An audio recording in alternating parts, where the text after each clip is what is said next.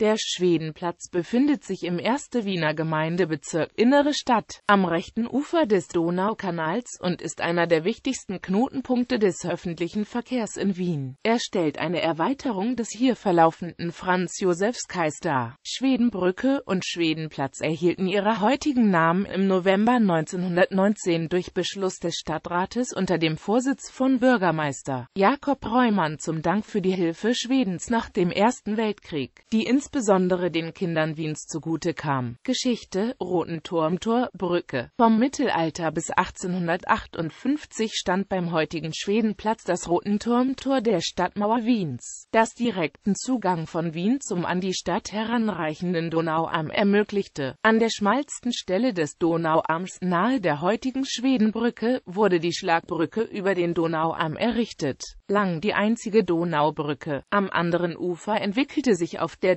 Donauinsel Unterer Wert die später Leopoldstadt genannte Vorstadt, seit 1850 der zwei Wiener Gemeindebezirk. Die Schlagbrücke wurde ab 1819 durch den nach dem damaligen Kronprinzen Ferdinand benannten Neubau ersetzt Platz am Kai. Nach dem Abriss des Roten Turmtors wurde bis 1860 entlang des Donaukanals der Franz-Josef-Sky angelegt. Er erhielt bei der Brücke eine platzartige Erweiterung, die 1897 nach dem Vorgänger des regierenden Monarchen Kaiser Ferdinands Platz benannt wurde. Der damalige Umfang des Platzes ist bis heute an den wenigen Hausnummern des Platzes zu ersehen. Nummer 1 war die Seitenfront des 1945 zerstörten Treppenhäuser-Blocks zwischen Adlergasse und Kai und ist heute nicht vorhanden. Nummer 2 ist das Eckhaus zum Laurenzerberg. Auf Nummer 3 und 4 steht der nach 1945 errichtete Dr. Almar Motzko-Seitzhof, in dem sich unter anderem das Hotel Capricano befindet. Nummer 5 ist die Seitenfront des Hauses Dominikaner Bastei 21. Am Donaukanal fand 1945 im Zuge der Schlacht um Wien ein Artillerieduell statt, dem speziell um den Schwedenplatz viele Gebäude zum Opfer fielen, der der heutigen Häuserfront zwischen Laurenzerberg und Rotenturmstraße, damals Adlergasse, vorgelagerte Häuserblock wurde so stark zerstört, dass der Wiederaufbau unterblieb.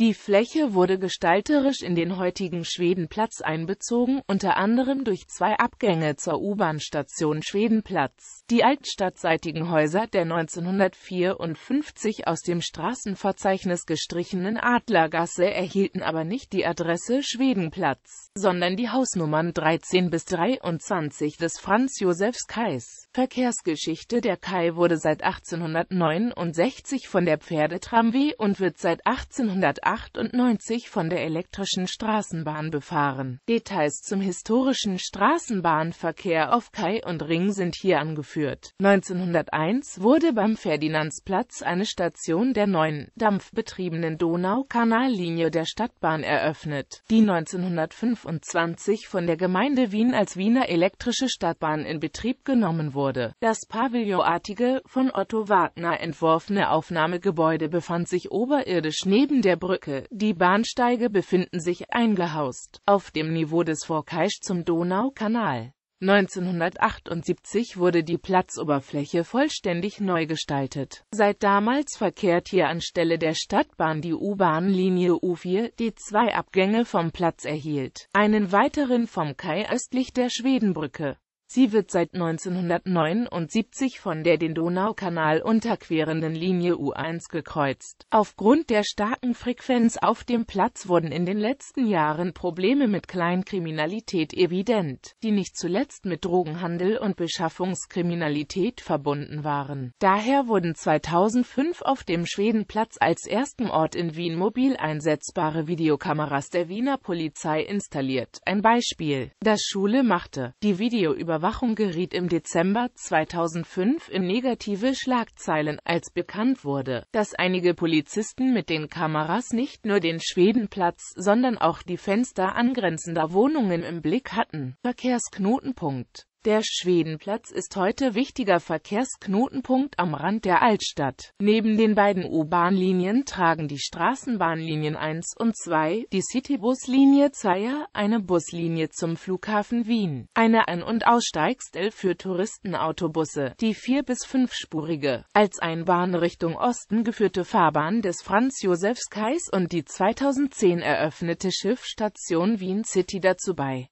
Von ihr aus verkehrt U.A. der sogenannte Twin City Liner, ein Schnellkatamaran, dreimal nach Bratislava in den Schwedenplatz bzw. den Kai mündet die Rotenturmstraße, Ausfahrt aus der Altstadt vom Stadtmittelpunkt dem Stephansplatz her. Am breiten Geh- und Radweg auf Straßenniveau entlang des rechten Donaukanalufers fließt Radverkehr zwischen den weiterführenden Radverkehrsübergängen. Diskussion um Umgestaltung ab 2011. Der zusammenhängende Platz begleitet auf etwa 300 Meter Länge rechtsseitig den Donaukanal, der vom Nordwesten kommt und in einer leichten Linkskurve zuletzt nach Ost-Südost fließt. Am rechten Pier läuft ein Gehweg. Etwa 10 Meter höher liegt das Platzniveau mit anschließendem Gehsteig und vielspuriger Fahrbahn des Franz-Josefs-Kais. Von dieser Fahrbahn treten die hohen Gebäude anfangs 70 Meter zurück. Hier im Nordwesten im ersten Längensechstel heißt der Platz Morzinplatz, danach Franz Josef Sky und im Osten Schwedenplatz, wo er sich kontinuierlich auf 50 Meter verjüngt. Oktober, November 2011 wurde im Wien Museum eine Ausstellung über Geschichte und Entwicklungen des Gebiets Schwedenplatz Morzinplatz gezeigt. Bis Herbst 2013 wurde das Leitbild Zukunft Schwedenplatz erarbeitet. An der Oberfläche wird mehr Erlebnisqualität für Fußgänger angestrebt. Herbst Herbst 2015 wurde ein Wettbewerb für Umgestaltungen gestartet. Verkehrliche Rahmenbedingungen waren vier Geradeausspuren am Franz-Josef-Kai, Verschwenkung der Straßenbahngleise im Bereich Morzinplatz, Ausbau der Fuß- und Radwege. Punkt. 60 internationale Projekte wurden vom 8. bis 14. Februar 2016 vor Ort in einer Dialogbox und im Internet den Bürgern vorgestellt und Rückmeldungen eingeholt. 2300 Menschen haben persönlich Ideen deponiert, 700 via Internet. Sehenswürdigkeiten am Schwedenplatz befindet sich der beliebte und stark frequentierte Eissalon am Schwedenplatz. Unweit davon liegt die von 1970 bis 2006 von Herbert Lederer als Einmannbetrieb geführte Kleinbühne Theater am Schwedenplatz, die 2014 von Alexander Wächter unter dem Namen Theater Franz Josef Sky 21 wieder in Betrieb genommen wurde. Der Schwedenplatz ist auch ein Eckpunkt des Wiener Bermuda-Dreiecks, einer in den frühen 1980 80er Jahren etablierten Zone mit zahlreichen Lokalen. In unmittelbarer Nähe befinden sich zudem die Ruprechtskirche, einer der ältesten Sakralbauten der Stadt, und die Urania, die eine Volkshochschule sowie ein Kino und die Urania Puppenbühne beherbergt. Das Urania Kino ist alljährlich einer der Veranstaltungsorte des Filmfestivals Biennale, direkt gegenüber dem Schwedenplatz bereits im 2. Bezirk und über die Schwedenbrücke erreichbar, stehen auf den Eckgrundstücken an der Taborstraße links der vom Architekten Hans Hollein geplante und 2001 fertiggestellte Media Tower und rechts der im Dezember 2010 eröffnete Hotelturm von Jean Nouvel, der als Sofitel der Fansdom betrieben wird und auch ein Designkaufhaus der Kette Stilwerk umfasst